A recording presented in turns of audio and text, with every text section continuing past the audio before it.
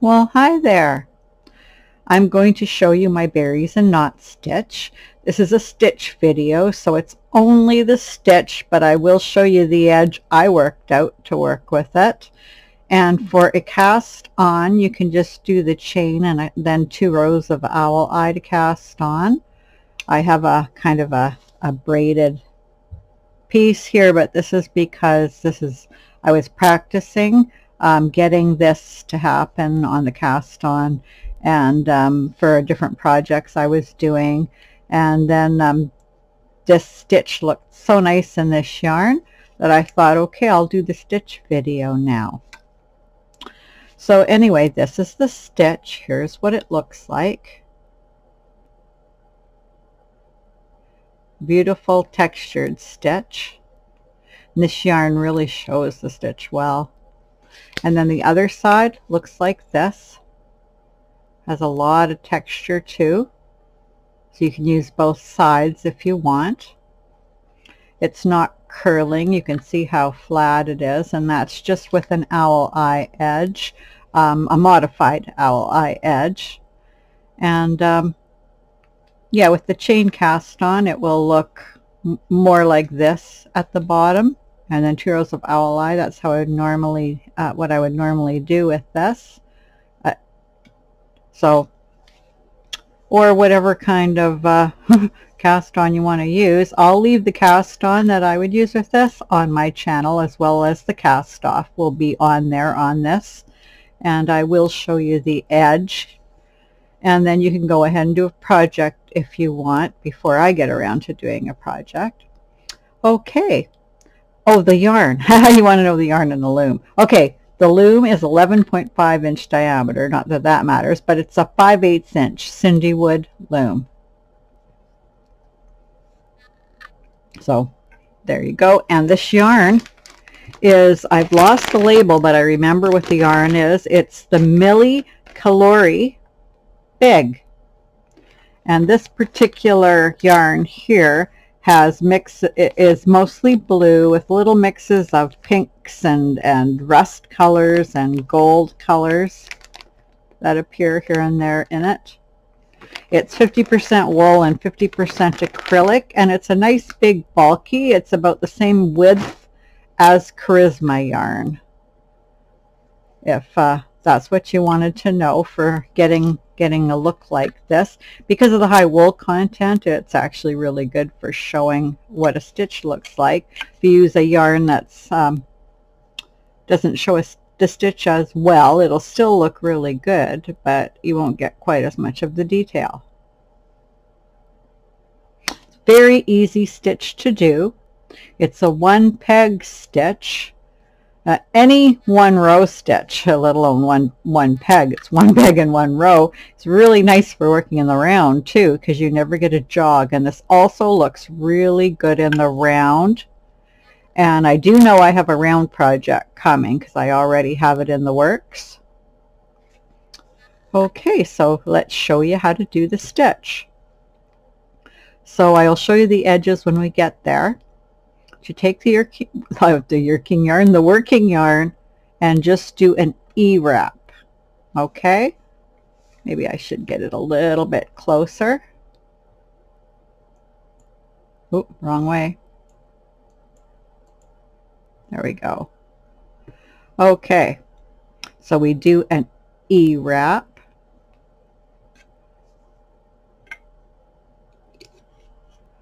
And after we've done the E-wrap, we take the working yarn and rewrap the peg by going in front of it from the back. We're going in the direction we're going, which is this direction.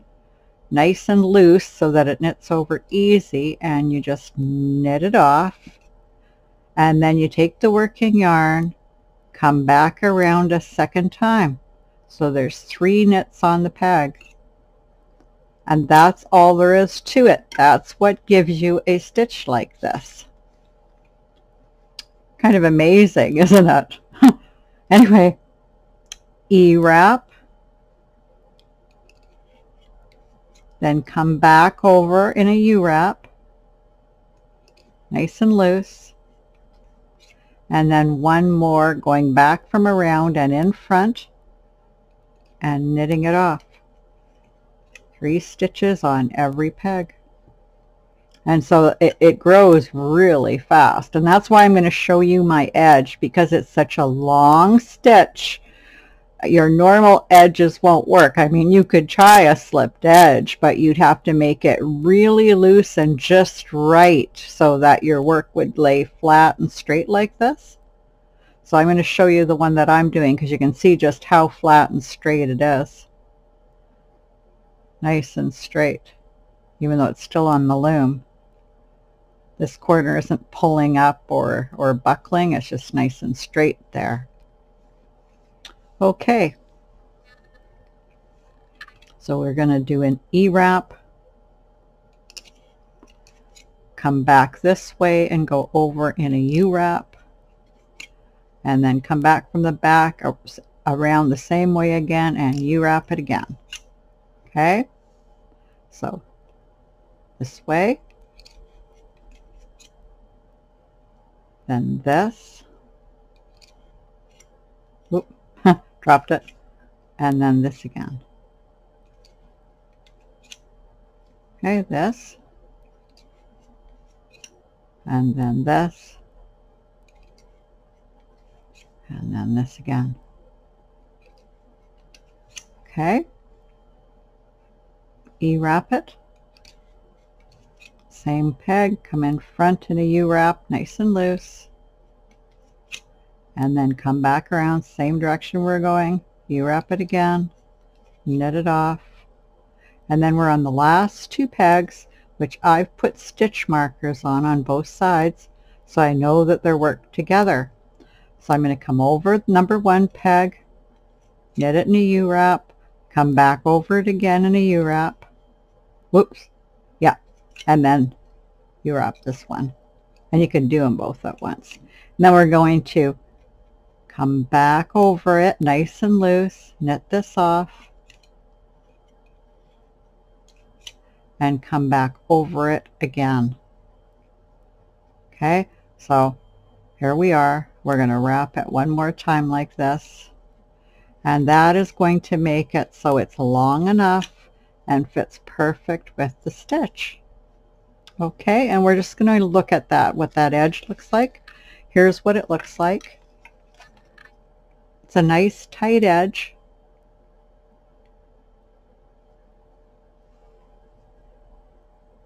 Fits it well.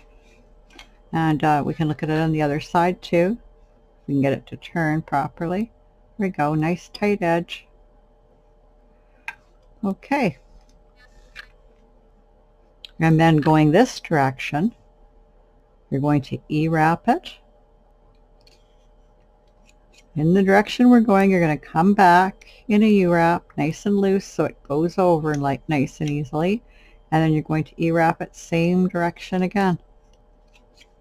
So E-wrap it. Come back over and wrap again in the same direction. And when you actually get going, it goes pretty fast.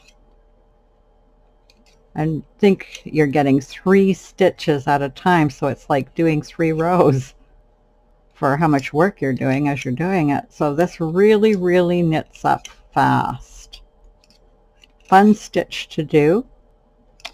Really good for any kind of a shawl or cowl, or you could use it in a hat pattern too wherever you'd like, really. So I'm just showing you it knits up fast. We'll do a few more slow ones. So E-wrap, and then just go over it in a U-wrap, and go over it in a U-wrap again, like that. So E-wrap it, come back over like this, nice and loose, and then come back one more time again. There we go. And again, E-wrap it, come back over it, and come back over it again. And then there's the edge. So we come over the edge, and we just do a wrap. And then we're doing owl eye, so you can wrap it separate like I did the first time or wrap right over it if you're loose. And then you come back nice and loose. Make sure you're loose. And you come from behind and come back over it one more time. Nice and loose. So that's all there is to it. We can look at it. You can see it's grown quite a bit. it really, really goes together fast and it's just a beautiful, beautiful stitch. You can look at it now that it's longer from the back. A lot of texture there. Completely different looking stitch, but still a nice stitch in its own right. And there you go. Now it will be a lot more lacy if I had used um, the three quarter inch gauge and a thinner yarn and it would still look good. It still does. Like I'll show you how it looks. This is how it would look. I'm pulling it out if it was more lacy. Still a really nice stitch and it still has lots of texture. Oh, that's what I didn't show you is how much texture this stitch has. Right now I'm working a lot on textured stitches. But look at that texture. Lots of texture. And the other side too has lots of texture.